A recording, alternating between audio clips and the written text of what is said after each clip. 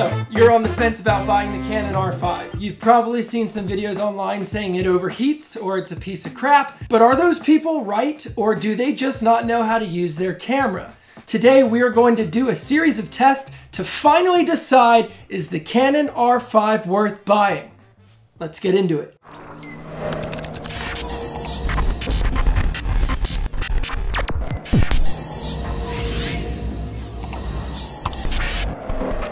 If you've ever showed up to a photo shoot without a battery or a memory card in your camera, go ahead and click that like button right now and let's get into the testing.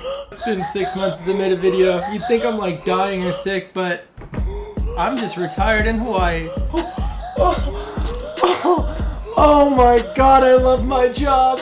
Today's video is all about whether the Canon R5 is worth your money or not. There are so many conflicting opinions about this camera online that it's the best camera in the world or it is absolutely horrible because all it does is overheat. And so today we're going to get to the bottom of this. We're going to go through my testing, my rigorous testing when it comes to getting a new camera, if it will become my everyday camera or not. So as a point of comparison, I will be comparing this camera to the Canon EOS R, which I think a lot of people will be upgrading to this camera from. And then the 1DX Mark II, which is a five year old beast of a Canon camera that I consider the best camera Canon ever made. So what is it that I'm actually testing for when I'm looking for my new everyday camera? I'll read it to you so that you can follow along. Number one is a solid and cinematic image with great color and sharpness. I think everyone wants that. Secondly, quick and reliable autofocus similar to what I experienced using the 1DX Mark II, which if you're not aware is arguably the best autofocus in any camera in the entire world.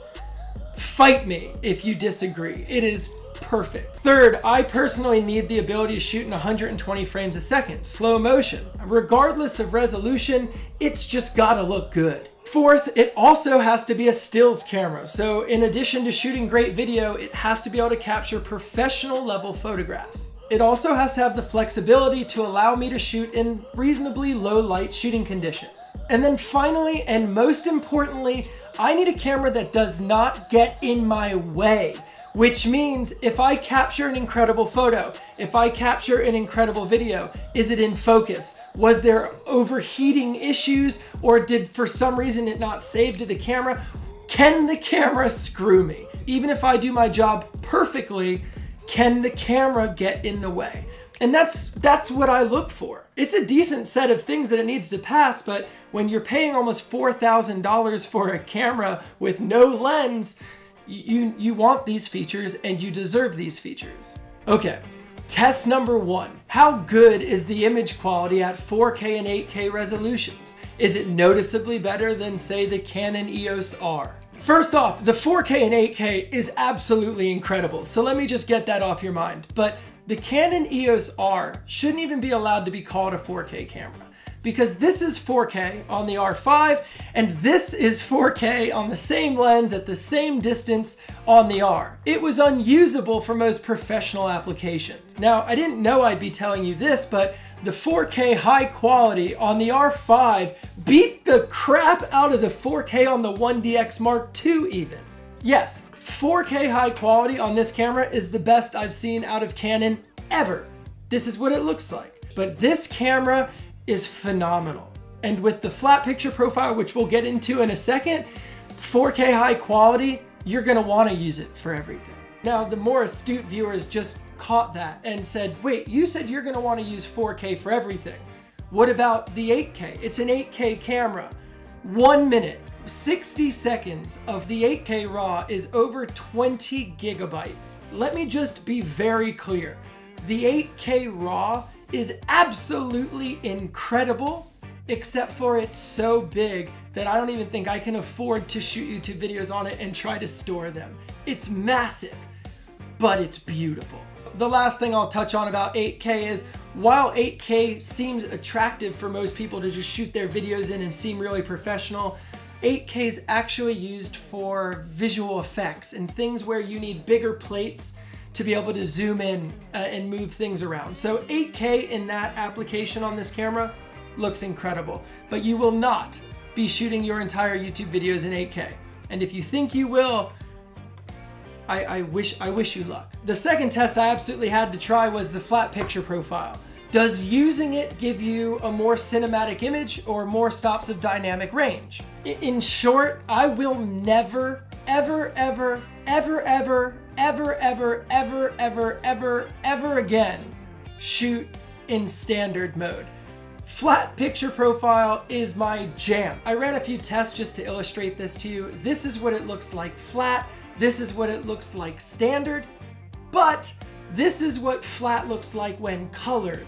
And this is what it looks like standard. As you can see, in terms of a cinematic image, the flat picture profile gives you so much more flexibility and options when coloring your video that you can actually make it feel like a film rather than just make it look like real life.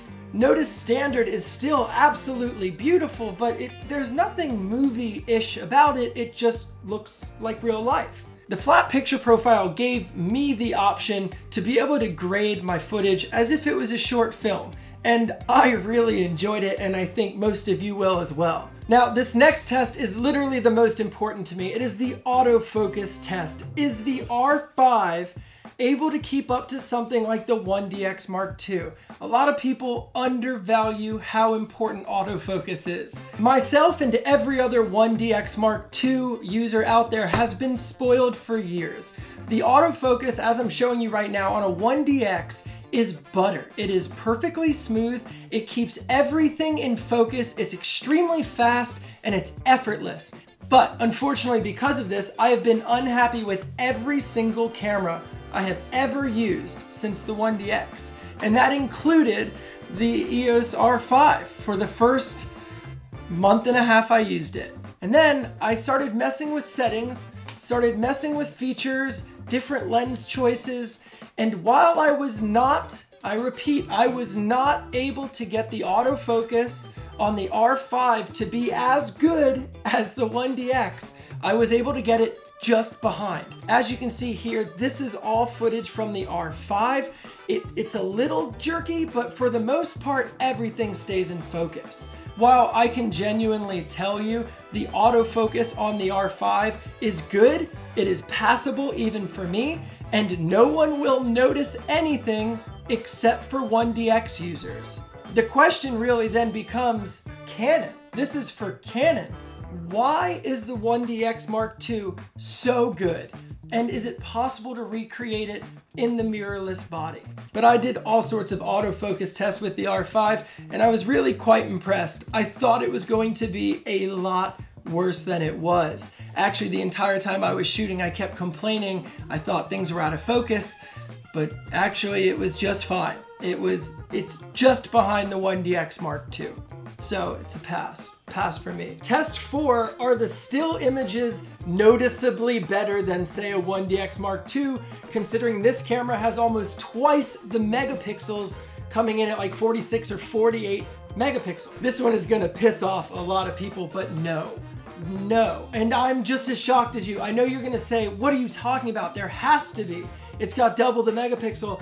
I'm just as shocked as you. This is captured on my 1DX Mark II. This is captured on the R5, both with the exact same lenses at the exact same settings. And if I switch them around on the screen, you would have absolutely zero clue which is which. But regardless, as soon as you upload them to Instagram and they get compressed, they, they, you literally cannot tell them apart with a magnifying glass. Test 5 I probably cared about more than anything including autofocus, and that was does the 4K 120 frames a second look noticeably better than the 120 frames a second that we got in 1080p on the 1DX? The results we got from the test at first seemed to not really show a huge difference. They looked almost identical. The colored the same, they flowed and moved the same, and then we noticed the difference. The Canon R5 actually does have noticeably better 120 frames over the 1DX.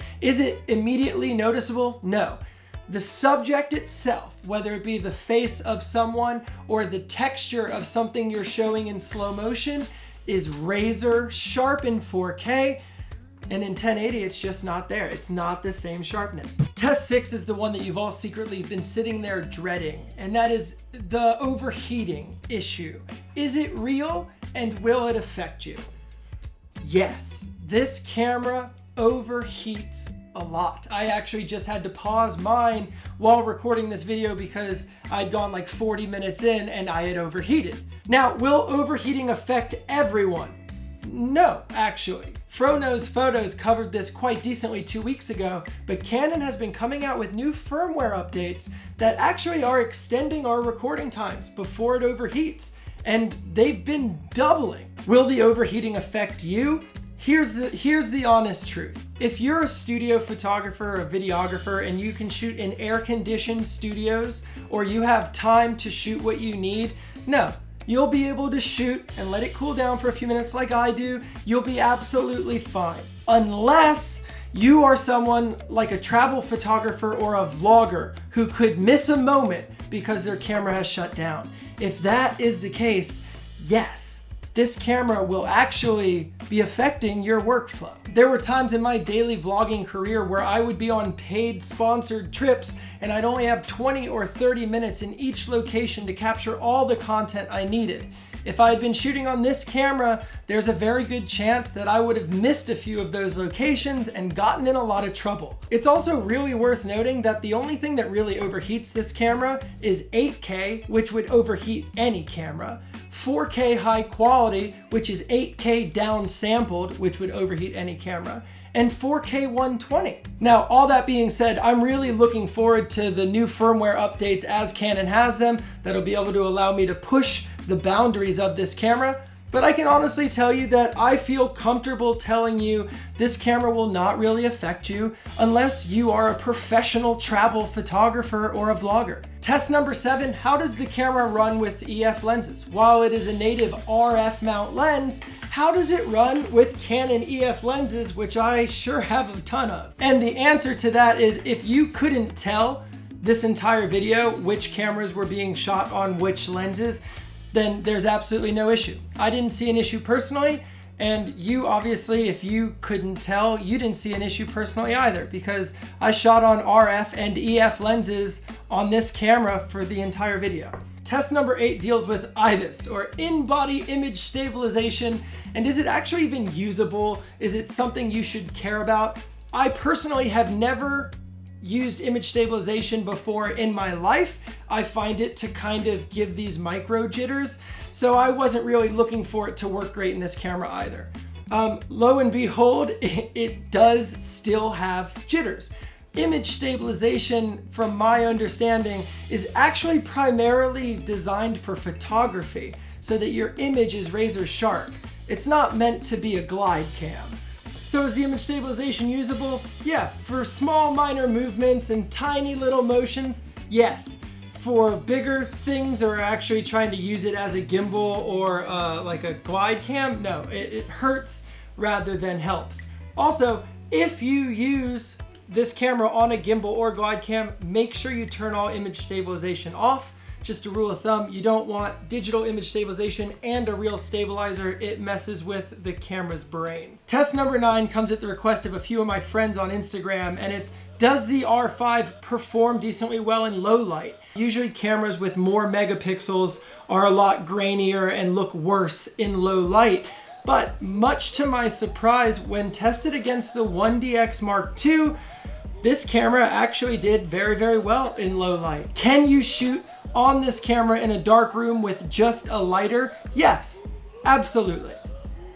Anything darker than that, I'm not quite sure what you're shooting, but um, test it and let me know. Before I give you the final thoughts, final if I would buy this camera. I just want to thank you guys for watching. If you enjoy these videos, please give it a thumbs up and subscribe. I'm going to be making these hopefully every single week again, so I'd love to have you here. Our final closing thoughts. Would I recommend this camera to a friend. Yeah, 100% absolutely. If they can afford this camera and they don't currently have a 1DX Mark II or a 1DX3, yes, 100% I would I would push them and tell them this is the camera they need to buy. Would I buy this camera myself? I, I cannot believe I'm saying this and I I'm I I just can't believe I'm about to say this. This camera, even though the autofocus is just a step behind the 1DX, has won me over from my 1DX Mark II. This will be my new primary camera. And for all paid shoots, jobs where I only have so many hours to capture something from someone else who has paid me to be there, I will still take this camera as my A camera, but I will continue to carry my 1DX in my bag for when this camera inevitably overheats, because it will, so that I can switch to another camera and keep trucking forward without having to wait for it to cool down. It looks incredible. I didn't think it would. I didn't really want to believe it would, and it does. So Canon, way to go. The image quality looks incredible. Just figure out the overheating, get some focus things under control. And other than that, I love you guys very much. I hope you enjoy your new camera, and I'll see you next time. Peace. Oh, by the way, we're reviewing the R6 next week, so if you're on the fence, maybe wait.